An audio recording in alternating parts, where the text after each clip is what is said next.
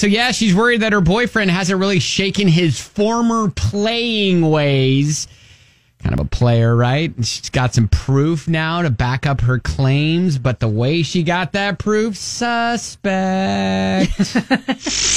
When you need advice, come to Ben and Kelly. It's group therapy on 99.7 DJX. She writes, Hey guys, I need some help. My boyfriend has described himself as a reformed player, oh, good meaning for he you. dated around a lot in his younger days. Good for him. I have no experience with that, so great. Okay, he's pretty handsome. And I still notice women looking him over when we're out in public, and it makes me mad that he doesn't discourage this behavior. Okay. I got suspicious, managed to guess his password for his email, All right. and looked through all his emails for the past few months. Okay. Pretty sure he's not cheating on me, but he does have a few emails from women he's friendly with, which makes me even more suspicious. Like nothing overly flirty, but just why? Hmm. You know? I check his voicemails and text messages on his phone as often as I can and haven't found a smoking gun, but I'm still worried. Oh my gosh. Do I feel bad about snooping? Well, yeah, kinda. Okay. But doesn't everybody check up on their man occasionally?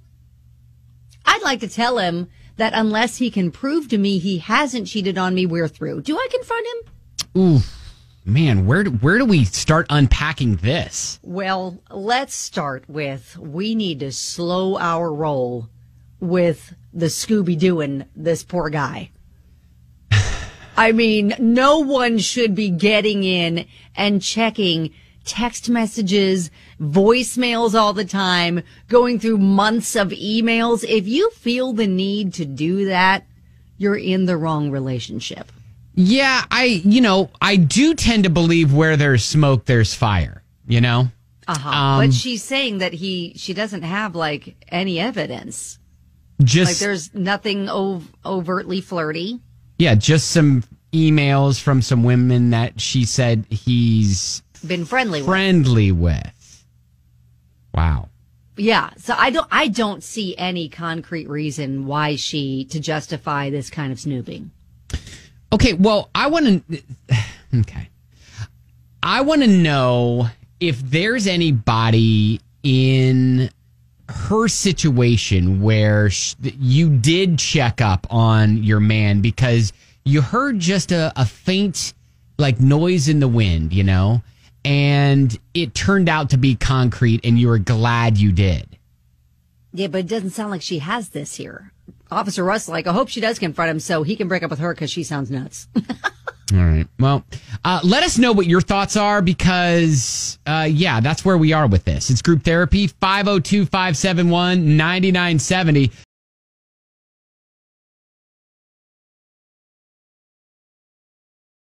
All right. So, Kelly, will you like catch us up on this murky water that we are wading through with group therapy? yeah, so she has a boyfriend who is a former player, dated a lot in his younger days. He's handsome. Women check him out. Makes her mad. Mm-hmm. He doesn't like immediately shoot it down, which I'm not sure what he's supposed to do. Like, no, no, ladies, I'm taken. Thank you, though. So she has taken to guessing his password, snooping through emails the past couple of months, checks his voicemails and text messages, hasn't found a smoking gun, but she's just wondering if she should confront him. You know, normal stuff, right? No, that is not normal. And that's what so many people on Facebook and text messages are pointing out right now. Mm-hmm. Just a couple uh, to start off with. Audrey said, No, honey, not everyone checks up on their man. I've been with mine for almost four years. I've never snooped through anything of his. You need to end it with this dude. Maybe figure out why you're so insecure and fix that before you start another relationship. Okay, so um, we're going to hear from Destiny, um, and then Josh jumps in afterwards and is saying, "Hey, you know what? Listen to your gut." But first, Destiny, um, what's your thought? me and my boyfriend have been together for about six years now. And whenever we first got together, I was doing what she was doing and just kind of searching for something. I was going through everything text messages, even like through with his family. And I was never really finding too much, but because I was doing that, it was really putting a lot of strain on our relationship and it just became super, super toxic because he kind of took the stance of, you know, cheaters sometimes think that their significant other is cheating. Mm. So then he started going through my stuff, and of course, neither one of us ever found anything. Right. But because of that, we did break up for a short period of time. And now that we've gotten back together, we have kind of came to the agreement that like, hey, let's not do that. Like, like I said, it's been six years now, and neither one of us have ever cheated, and we've never found anything. I don't feel the need to go through his things. He doesn't feel the need to go through mine. And it's just been a lot better since then. Destiny, how do you just switch that off? Like, if you were so investigative before, how on the, the second time around are you like, nope, not going to do it? I think it was because he'd never given me a reason. Okay. At first, I think that a lot of it had stemmed from past relationships where I was like, oh my gosh, I constantly have to check. And, you know, he was like the town player, mm. whatever. Yeah. So I was, I kind of just had this bad connotation. Yeah. But he's never physically given me a reason to say, hey, you're cheating on me. So, Yeah. All right. Well, hey, Destiny, thank you for sharing your story. Hope it all works out with you and your boyfriend. yeah, thank you. Hey, Josh. So, what's your thought on this? Okay, well, the same thing practically happened to me when I was living with my fiance. Mhm. Oh, she definitely was cheating, and I'm a forgiving person.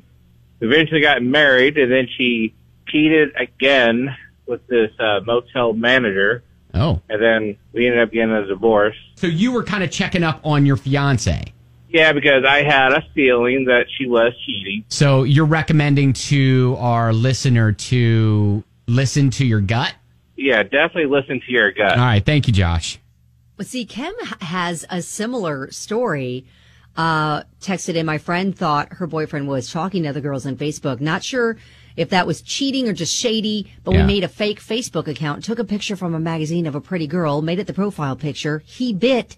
She dumped him after two weeks after the conversation started. Oh, my God. he would talk to the fake Emily, in quotes, when he was with her. When he was Oh. with his girlfriend. Oh, my God. He was a reformed player too. I don't recommend making a fake account, but you should trust your gut, cut and run. But then so many more people are saying, yes, you should confront him. Tell him you've invaded all of his privacy for no reason other than that he's attractive and try to be honest with you about his past. Let him know that you've broken his trust enough that he's comfortable moving on so you can seek out real therapy. Okay. All right. So, so um, I, I guess collectively as a show, what are we saying? We're saying I think do- she he's given her no reason to be this invasive in his privacy. And first of all, if you feel the need to do that, you're not in the right relationship, regardless of why you feel that way. You should step away and realize that no, it's not normal to go through text messages, voicemails, and emails of your partner. That's not normal. Well, I, I uh, am going to agree with some of the listeners and say, yes, confront him and then follow up with us, please. okay. Listen, you're just looking for drama.